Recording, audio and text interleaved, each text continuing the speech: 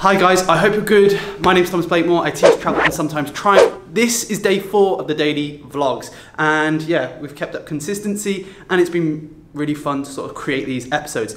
Today, I'm gonna keep my head down. You probably won't see lots of vlogging type stuff from me today.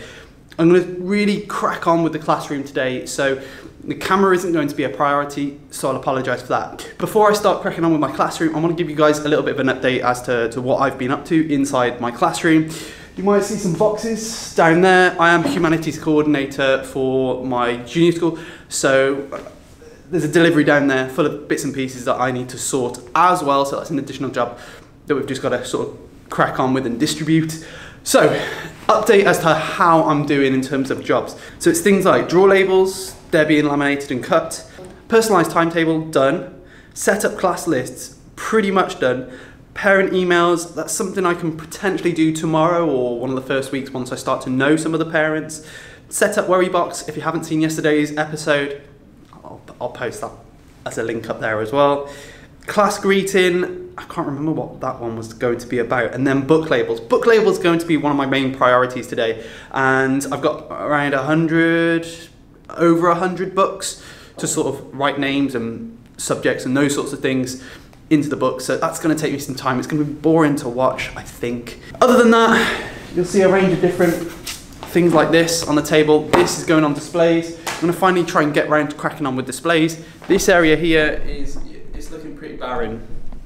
It's the reading area and it, yeah, nothing's really happening. So a range of different things to sort of crack on with today and I apologise if I'm not as on it with the whole vlogging type thing. The main thing that I want to talk about today is behaviour, well the, phrase is behaviour management, but I'm going to talk to you about this. And I'm going to relate it to my experience of working at McDonald's. McDonald's was my first job. You're probably thinking, what? What? It'll make sense once I've explained it.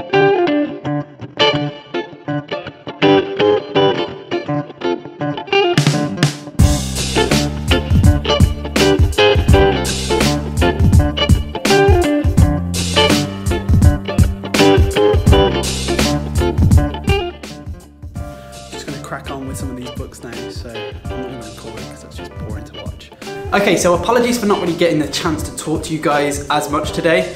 As I said at the start of the video, I knew today was just gonna be a crazy busy day in terms of meetings, but also just me trying to get stuff done. So the priority really for me in terms of whether it's, it's vlogs or teaching, obviously the teaching has to take the main priority.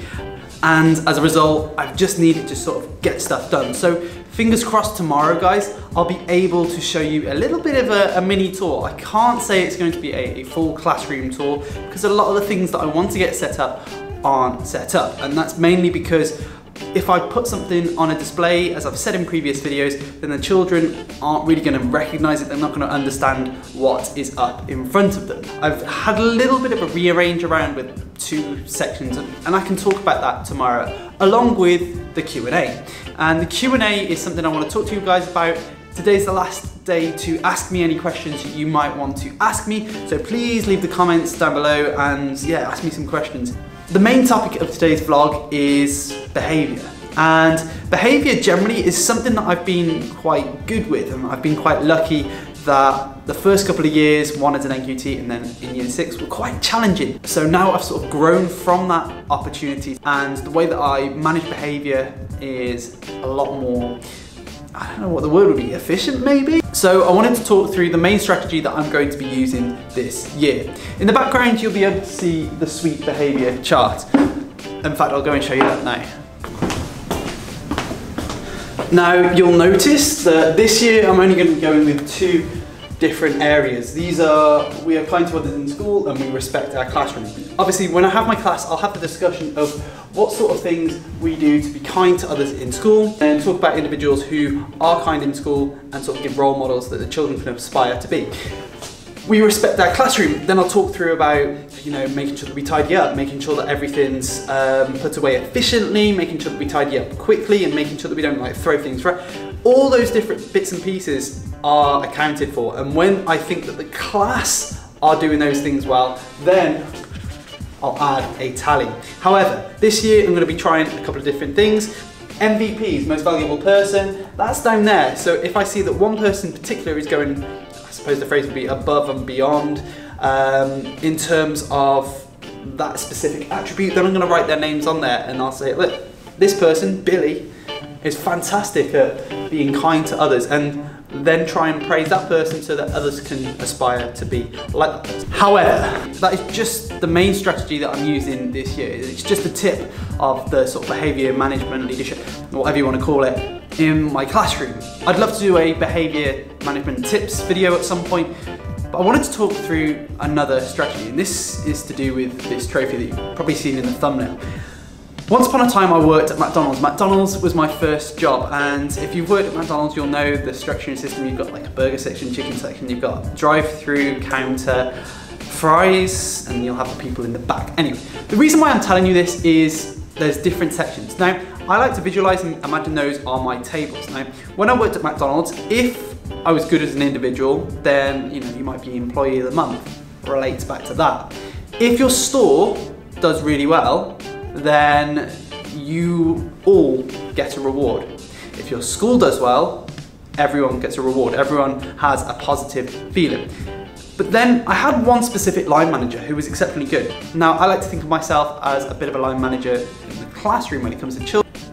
What he would do is give incentives to specific stations. And the way he would do that is by saying, whoever you know performs the best, that station would get five minutes extra break and he would try and seek opportunities as soon as it was quiet to allow us to have that five minutes extra break. So obviously everyone was sort of competing against each other to get that extra five minutes because you know we had shorter breaks in that workplace. I'm gonna put this down. The reason why it's important is I now need it. This is the Superstar Table Trophy. Now, in my class I've got three tables. It all works towards that display because I will say to my class, each table needs to do something. What they will then do is start to have discussions. It's fantastic because then you start to see leaderships happening within the classroom where you know you see individuals start to say, come on, we need to be doing X, Y, Z to try and get this. And your tables start to create almost like mini stations, a bit like McDonald's. So then this is the incentive for the tables. And if everyone pulls in the right direction in terms of the behavior, then the tally goes up. But what you find then is that instead of the teacher constantly have to, to sort of, suppose like bop heads and constantly nag, then the children are doing it for you, I suppose, in this taking responsibility for their own behavior and their own behavior for learning. So that's the magic of this trophy and the reason why I use it. I hope that makes sense to you guys. It's been a bit of a different vlog today guys, I'll be completely honest with you. I've been quite constructive in the classroom and I can't wait to share that with you. As always, if you want to ask questions, put them down in the comments. If you've enjoyed the video, feel free to like it. If you've loved the video, feel free to subscribe to the channel and click the notification bell to know when I post next. If you click into my channel, you'll see a range of other teaching and traveling videos that you might want to watch. Anyway guys, I hope you've enjoyed and I'll see you tomorrow for the final episode.